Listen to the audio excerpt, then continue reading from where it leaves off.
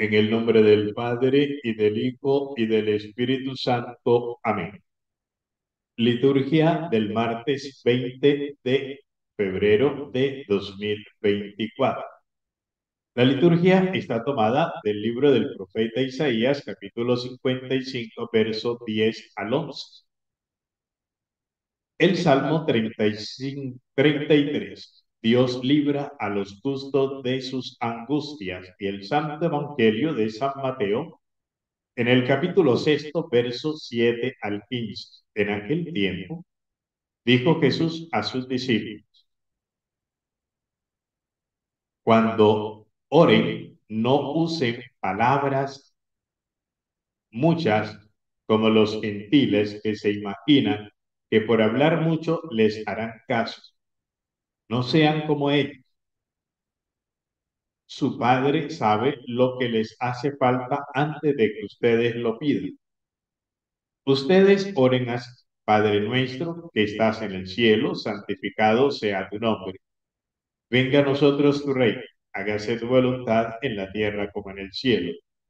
Danos hoy nuestro pan de cada día, perdona nuestras ofensas como también nosotros perdonamos a los que nos ofenden no nos dejes caer en la tentación y líbranos del mal, porque si perdona a los hombres sus ofensas, también a ustedes los perdonará su Padre Celestial. Pero si no perdona a los hombres, tampoco su Padre perdonará sus ofensas. Palabra del Señor.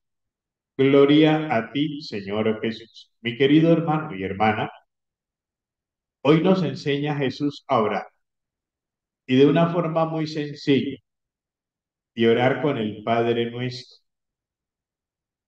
Pero orar con el Padre nuestro sí, lo podemos hacer.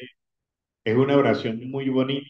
Tiene, tiene siete oraciones en. Entonces, eso, esa oración hay que hacerla con mucho sentimiento, con mucho amor, con mucha entrega, con ese don de vivirla, encarnarla, llevarla dentro de nosotros mismos y hacer que sea ese Dios de la vida el que esté en nosotros, que reconozcamos a Dios como nuestro Padre, que nosotros sepamos que Él es el que ha hecho y ha creado todo el universo y que Él permite y quiere y desea que nosotros estemos siempre con Él. Qué bonito que nosotros sepamos perdonarnos, tanto que nos hace falta el perdón. Vivimos de violencia en violencia.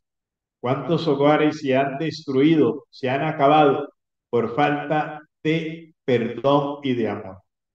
La invitación hoy es a sabernos perdonar y a saber orar y acercarnos a Dios de corazón sincero nos presenta la liturgia en el día de hoy a los santos Jacinta y Francisco Mar. En Ajustrel, pequeño pueblo situado a unos 800 metros de Fátima, Portugal, nacieron los pastorcitos que vieron a la Virgen María, Francisco y Jacinta.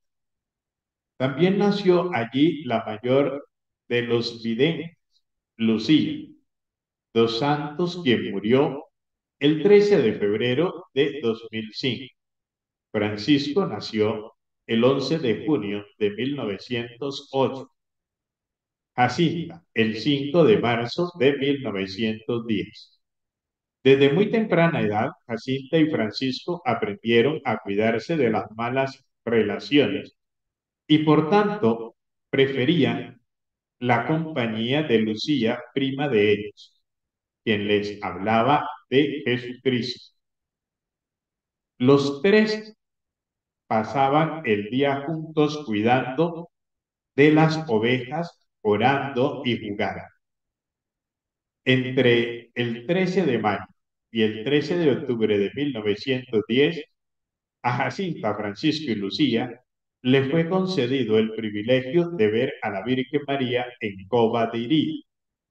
A partir de esta experiencia sobrenatural, los tres se vieron cada día más inflamados por el amor de Dios y de las almas que llegaron a tener una sola aspiración, orar y sufrir de acuerdo con la petición de la Virgen María.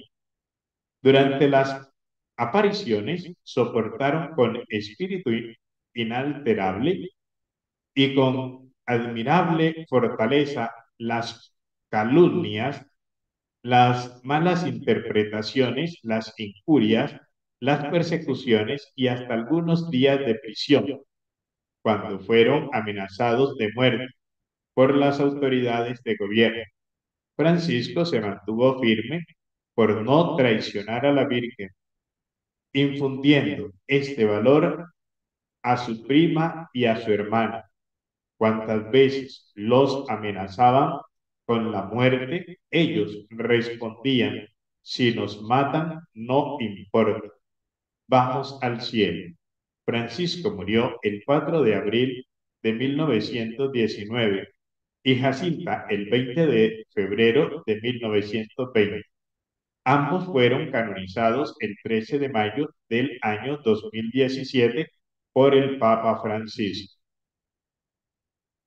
Dios Padre de bondad y misericordia, imploramos tu gracia de bendición y sanación en este día para nuestros hermanos enfermos y a todos los que en este día tú les estás regalando un año más de vida, bendícelos y santifícalos y a los que hemos participado de este espacio espiritual matinal despertar con Dios, despiértanos con tu santa bendición.